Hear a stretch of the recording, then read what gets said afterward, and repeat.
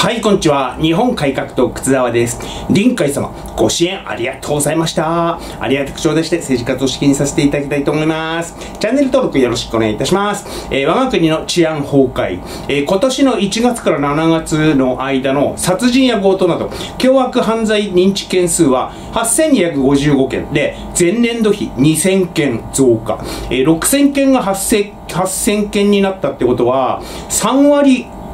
増ってことは30%増加、えー凶悪犯罪か、えー性犯罪。認知件数9969件約1万件ですね。前年度比なんと倍以上に増加。だって、えー5000件増加って書いてありましたんで倍になったんですね、えー半年間の性犯罪が1万件になっちゃった、えー前の年は5000件だった。逮捕された来日外国人は464人で過去最多、えーこれあの半年で464人外国人が逮捕されていると。過去最多であると、えー世論です。全部岸田のおかげ。不起訴だらけの無能な思想。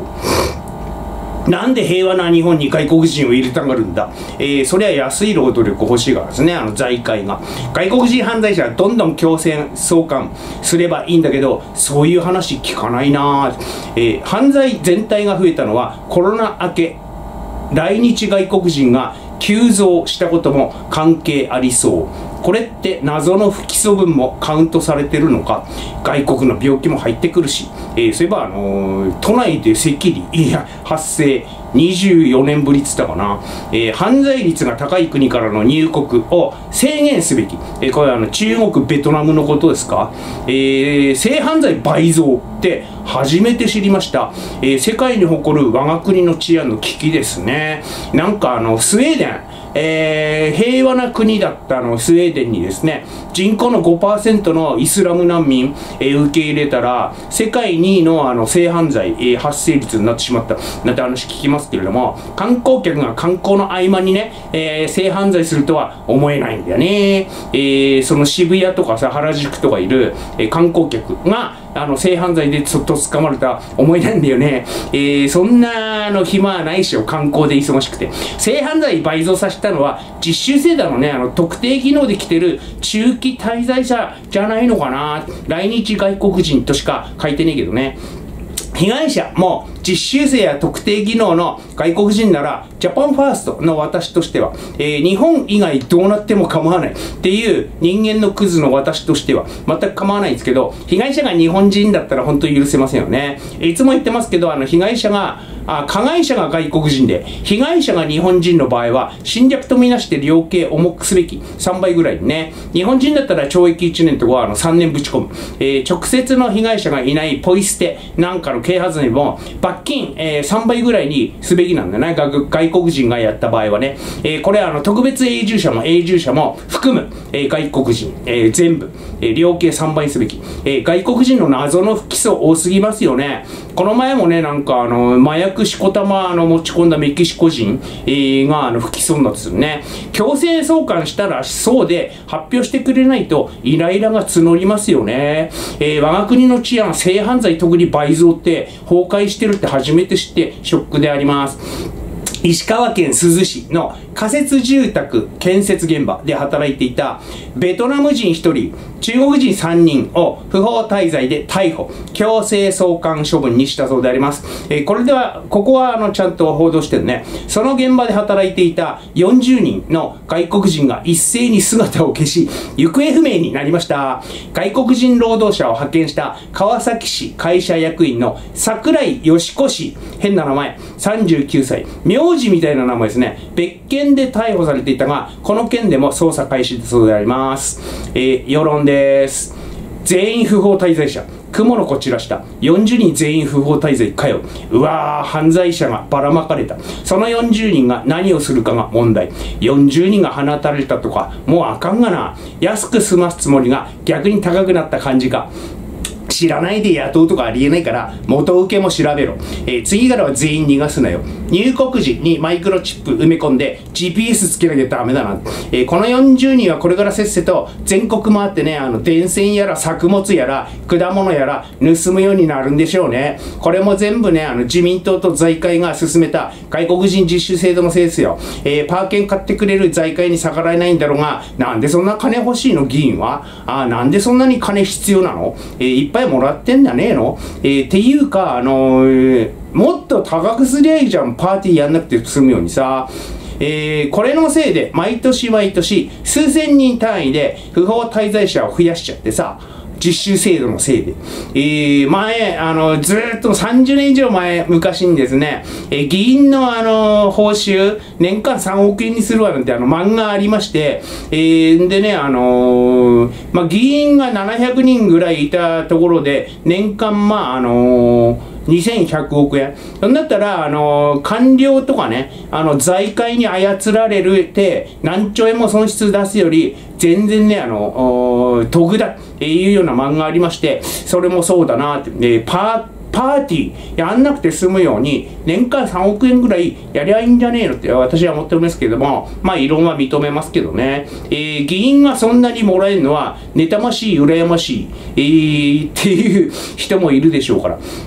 今や不法滞在者は25万人も船舶してるって、えー、恐怖でしかないですよね。今後はね、あの外国人雇う場合は、マイナンバーカード提示させて確認するようにしないと、えー、記事にはなかったんですけど、雇ってた建設会社が全くお咎めなしじゃね、今後も不法滞在者と知らずに雇う再発防止できないですよね。繰り返されるよね。えー、不法滞在者雇った会社の代表者、元請けでも、えー、懲役刑設ければ、えー、雇うとき慎重になるでしょ。万が一でも、あの、不法滞在者雇っちゃって、社長、あの、ぶち込まれてるんでたまんねえっていうことでね。えー、小泉進次郎、総理選、総裁選なんですけど、出馬表明、すでに議員40人の応援をもらっている。えー、強いっすね。世論です。みんな勝ち馬に乗りたい。おぼろげながら、立候補してみた。裏金のイメージもないし、強いかもしれん。総理になった暁には、レジ袋無料化をぜひ。小泉は議員らにとって都合がいいんだろうな。わ若手議員支持はあっても、じじい議員の支持はないやろ。Y と同じコム省感あるけど、答弁できるんか。不祥事少なそうなとこが有利な点か。石場になるよりはるかにマシかもしれん。人格破綻者の河野太郎より断然マシ。40人っておぼろげに見えた数字ちゃうやろな。えー、答弁は、あの、官僚が作ったペーパー読ませるんでしょうね。えー、小泉は、あの、自分の脳みそ考えて喋らすとろくなことになんねえから、だ、傍らにね、えー、そばに誰かついてて、えー、こっからここまで読めって指示すれば、その通りできそうですね。もしくは、あの、所管の大臣が答えますって振ってもいいしね。えー、自民党議員40人、みこしは軽くてパーがいい、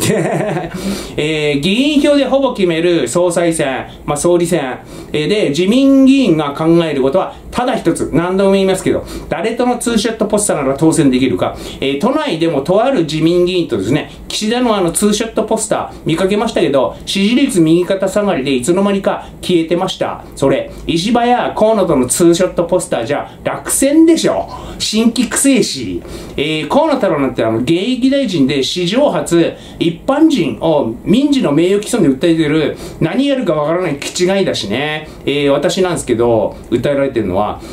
これであの追加訴訟をするならすればいいよあの人格破綻者の気違いって言ったことによってね、えー、私あの今月に入ってからあの無敵が倍増でしてね、えー、難病発見されちゃったから。いろいろ分析してますが私が応援するのは高市さんであります。ロシア軍の戦争犯罪を記録する活動で22年ノーベル平和賞を受賞したウクライナ市民自由センター代表、えー、オレクサンドラマトイチュク弁護士、えー、綺麗なあ美人さんですね、えー、市民を守る唯一の方法は軍しかないと NHK に回答を世論です。これは知ってた速報。これが現実だぞ。バカ左翼力こそパワー、えー、古今東西当たり前の真実。はるか昔から未来英語そうやでバカパよ怒りのだんまり酒飲んで話し合えば何でも解決するらしいから、えー、酒組み交わせば分かり合えるって言ったじゃないですか、えー、ウクライナに行ってそれやってこい、えー、力なき正義や無力と、え、パラベラムラテン語平和を欲すれば戦争に備えよう。パスカル、力なき正義は無力。正義なき力は暴力。ちょびひげ、国家は弱さを許さないと。えー、弱ければ国家じゃなくなっちゃう侵略されて、えー、我が国に生息するバカパヤの思考なんですけど、戦争のことを考えなければ戦争にならない。バカですね。本当に。自衛隊なくせば戦争にならない。バカですね。本当に。日本に力を持たせたら、必ず韓国、中国の侵略を始める。バカですね。あんなとこにねえやん、汚れた土地を。えー、でもそれって、あの、警察署なくせば、犯罪もなくなるだの、消防署、消防署なくせばね、火事もなくなるって、同じ思考ですよね。えー、本当はあの、バカですねとしか言いようがない。こんなバカどもだから、同じようなバカしか騙せなくて、年々減ってってんですね。えー、バカだから、えー、今日の単身です。自動車整備事業者の倒産、休廃業、解散が、これまで最多だった2020年を大きく上回り、過去最多を更新。安定した需要があるのになぜ？えー、まあ、あの、車検とかですか？他の業種と同じでですね、すごく多い段階世代経営者が、後継者が見つからないまま引退、廃業なんじゃないですかね。えー、それに今の車ね、あの、そうそう壊れませんしね、えー、オートバックスやイエローハットなんかの大手でオイル買ってきて自分で入れ替えできるようになったし、フィルターも買えるし、タイヤもあの、カー用品店で買って、その場で安い工賃で交換してもらえるし、お金に無頓着なお金持ちは買ったディーラーに持ち込んでお任せなんだろうし、えー、今後はあの全業種ですごく多い段階世代の経営者、引退イコール廃業が過去最多になると予想します。寿司店、ラーメン店、とんかつ店、喫茶店、外食に限らず、全部全部全部で廃業過去最多になると予想します。えー、減っていく人口と需要源に合わせた挑戦になって自然源は、まあやめないんじゃない？でしょうかね。後継者見つからないでしょうがないですね。えー、広角機動隊草薙素子の声優さん、田中さん61歳死去。えー、ショックであります。お悔やみ申し上げます。えー、ゴースト・イン・ザ・シェル。一作目が一番好きです、私は。えー、病名が伏せられているが、約1年間闘病していて、とのことで、残念であります。えー、不謹慎ですが、元子は今後、誰がやるんでしょうか？元子の声優さん。えー、もののけ姫の、えーと、忘れちゃった。役名タタラバの棟梁女の人名前忘れちゃった田中優子さんやったんでしたっけ？なんかイメージは田中優子さん、えー、に近いんですけどね。あの、まあ、俳優さんの田中優子さんね。えー、というわけでチャンネル登録よろしくお願いいたします。デトックスジャパン。